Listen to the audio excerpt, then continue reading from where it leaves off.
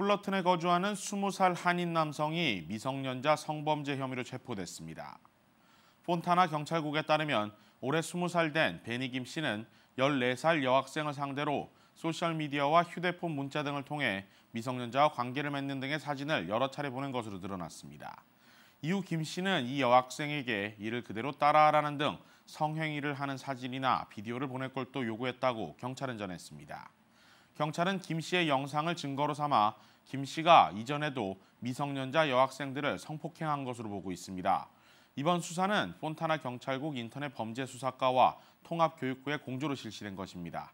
지난 26일 체포된 김 씨에게는 모두 4건의 미성년자 성범죄 혐의가 적용됐으며 10만 달러의 보석금이 책정됐습니다.